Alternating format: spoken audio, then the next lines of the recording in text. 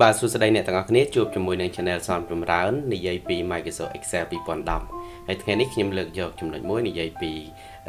if function ជាមួយនឹង count if អញ្ចឹងតកតងជាមួយនឹងការប្រើប្រាស់ទៅលើ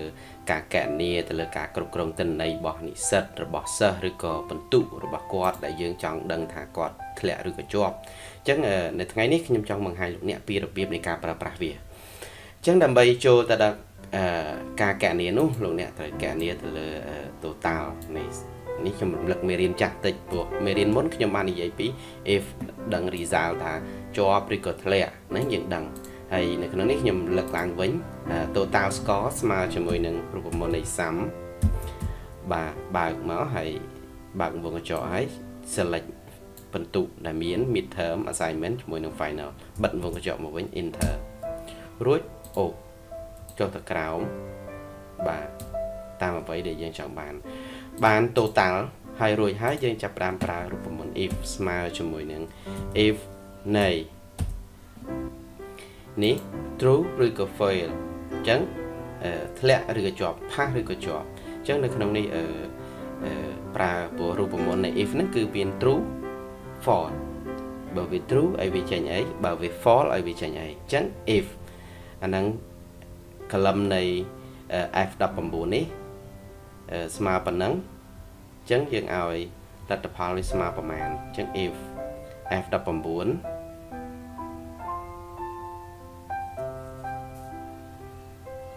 ធំជាង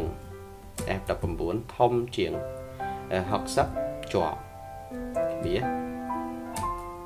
ទ្វាហើយមិញកដោលមក pass បិទមកវិញ ហើយបិទវងកញ្ចក់ផង enter ផងបាទរួចហើយអូសចុះក្រោមកត់ pass កត់ pass ហើយក៏ fail មានអ្នក pass មានអ្នក fail ប៉ុន្តែយើងអត់ដឹងថា grade គាត់ប្រមាណទេយើងចង់ដឹង grade នេះនេះកណនីអឺចង់ដឹងណាលទ្ធផល result គឺមានប៉ុណ្ណេះហើយចុះ grade វិញ យើងអត់ដឹងថាគាត់នៅក្នុង level ម៉ានេះដើម្បីកណនីរើ grade ហ្នឹងយើងមាន rank បន្ទុកដែលជាទូទៅគឺ rank បន្ទុកយើងនេះគេ rank ឲ្យតូចជាង60គឺធ្លាក់ហើយឲ្យចេញលទ្ធផលថាមាន pass មាន fail ប៉ុន្តែយើងចង់ grade ទៀតអ្នកអ្នក pass ហ្នឹងប្រមាណអ្នក fail ដឹងថាក្រោម60អីចឹងយើងគាត់ថា grade បន្ថែមទៅលើអ្នកដែលជាប់ចឹងអ្នកជាប់បន្ទុកដែលគាត់តិចជាង60គាត់ធ្លាក់ហើយជាប់ជាប់ត្រឹមកម្រិតអឺ ពីបន្ទុកចន្លោះពី60ទៅ65គឺចេញ E ចន្លោះពី65ទៅ70 D D+ C ទៅហូហែរហូតទៅដល់ A បាទអញ្ចឹងអឺដើម្បីកណនាទៅលើចំណុចហ្នឹងក៏យើងប្រើ if ដែរ if function ដូចគ្នាអញ្ចឹងដើម្បីទៅរកយើងចុចស្មើអញ្ចឹងមេរៀនមុនខ្ញុំបង្ហាញពី if ហ្នឹងពីជ្រើសរើសពី function នេះតែឥឡូវយើងមិនបាច់ទេប្រើវិធីនេះងាយស្រួល if វាយបញ្ចូលតែម្ដង if នេះ F19 នេះគាត់បានអឺបើសិនជា F19 ហ្នឹងគាត់អឺធំជាងនេះ F19 ធំជាងនៅក្នុងនេះគឺ85ធំជាងឬស្មើ85អញ្ចឹងយើងជាទូទៅបន្ទុកយើងកត់អញ្ចឹងយើងអាចដាក់ត្រឹម84ទៅអញ្ចឹងធំជាង84ធំជាង84គឺ85ហើយ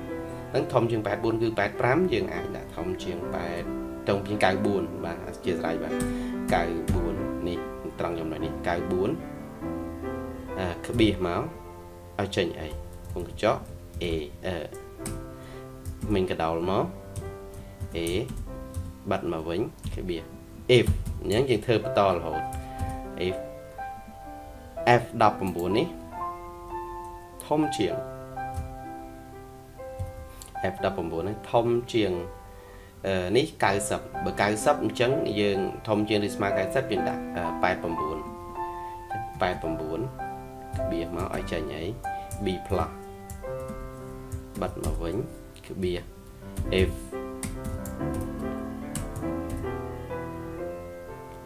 F ដដែល F19 ធំជាងអឺ84នេះ84 84 ក្បៀសមកឲ្យចេញ B ក្បៀស F ធ្វើចឹងរហូតដល់អស់អឺ F19 នេះ total score ហ្នឹងធំជាង84 84នេះ80 79អញ្ចឹង79ក្បៀសហើយចេញអី BB+ BC+ C+ បាត់មកវិញក្បៀស if if F19 នេះធំជាង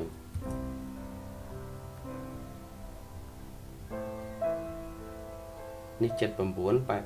74បាទ74ក្បៀសមកឲ្យចេញអី74ឲ្យចេញ C បាទ if ចេញ C 74ហើយ69 if កន្លង F 11នេះ F 19នេះធំជាង69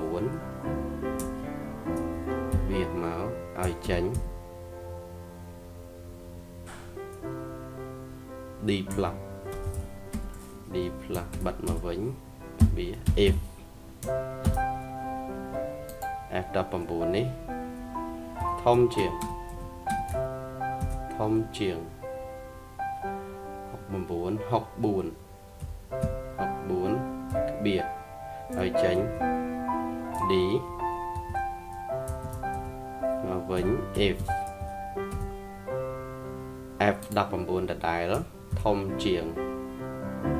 59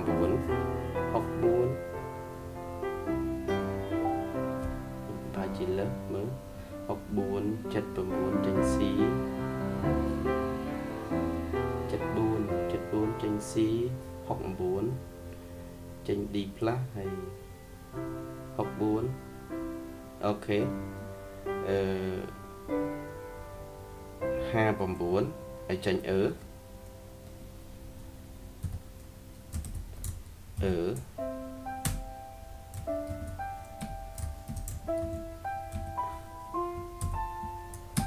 សិប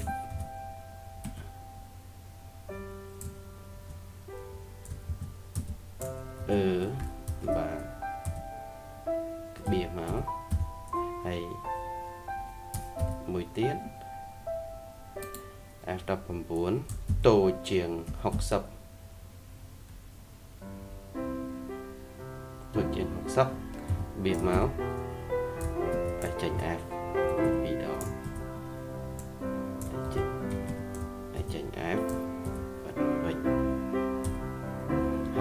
បិទវងកញ្ចក់បើមាន if ប្រមាណត្រូវបិទវងកញ្ចក់ប៉ុណ្ណឹងដែរហើយវិធីសាស្ត្រសម្គាល់គឺយើងបើសិនជាផ្ដើមដោយអក្សរនៅក្នុងវងកញ្ចក់នេះទៅដំបូងខ្មៅអញ្ចឹងខ្មៅខៀវនេះពណ៌ស្វាយនេះពណ៌ស្វាយកាន់ដិតហើយពណ៌ទូជេអញ្ចឹងបើយើងនេះអញ្ចឹងយើងសម្គាល់មើលឲ្យពណ៌ខ្មៅអញ្ចឹងយើងបិទវងកញ្ចក់មកវិញ1 2 3 4 5 6ឲ្យចេញពណ៌ខ្មៅ មួយទៀតបាទចេញពណ៌ខ្មៅ enter នេះបានលទ្ធផលរួចហើយយើងអូសមកចង់ដឹងមើលថាគាត់ចេញអីអូខេអញ្ចឹងអ្នកដែលគាត់ផាសនៅក្នុងចំណុចនេះគឺបន្ទុករហូតដល់90អញ្ចឹងផាសគាត់ grade A grade C grade F នេះធ្លាក់នេះផាសដែរ D+ នេះ fail នឹងដេញរហូតមកជាចំណុចដែលយើងត្រូវកណនារក កណនារកបន្ទាប់ពីនោះហើយយើងទៅចង់ដឹងថាតើអ្នកនៅក្នុង grade F ធ្លាក់ប្រមាណអ្នកហើយ D និទេស E ប្រមាណអ្នកនិទេស D ប្រមាណអ្នក D+ ប្រមាណអ្នកក៏យើងត្រូវប្រើរូបមន្តមួយគឺ count count if ដើម្បីរករូបមន្ត count if យើងចុចត្រង់ចំណុចដែលយើងចង់កណនាហើយដាក់សញ្ញាស្មើដាក់សញ្ញាស្មើមានន័យថាបញ្ជាឲ្យវាកណនាអញ្ចឹងវាយ count if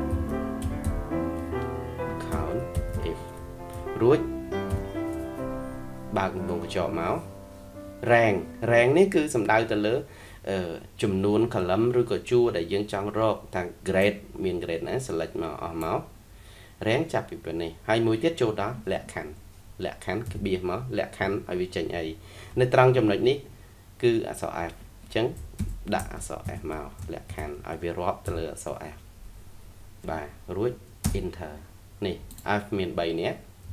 ហើយអូមករហូតអូខេអញ្ចឹង F មាន3នាក់អឺមាន3នាក់ D D មាន3នាក់ D+ 2 C C+ 1 B 1 1 1រហូតអូខេអញ្ចឹងសរុបមកវិញក្នុងការកណនាទៅលើបន្ទុឬក៏ grading result មាន sum នៅក្នុងរូបមន្តដែលខ្ញុំប្រើនេះមាន sum មាន if ជាមួយនឹង count if អញ្ចឹងសរុបមកវិញរូបមន្ត3គឺមិនបញ្ចូលគ្នាដើម្បីបានតារាងនេះមួយ បាទសូមអរគុណចំពោះការរៀនសូត្រជាមួយនឹង Channel សំចម្រើនសូមកុំភ្លេចចុច Subscribe ទៅនឹង Channel ដើម្បីទទួលបានវីដេអូមេរៀនល្អៗបន្តទៀតបាទសូមអរគុណ